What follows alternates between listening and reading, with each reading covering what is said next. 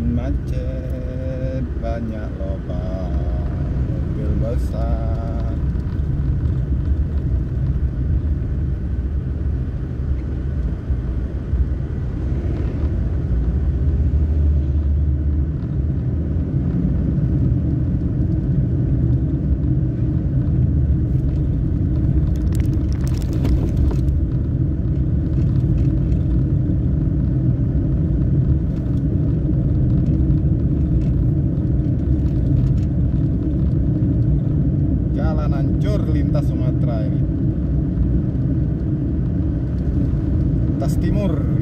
som är.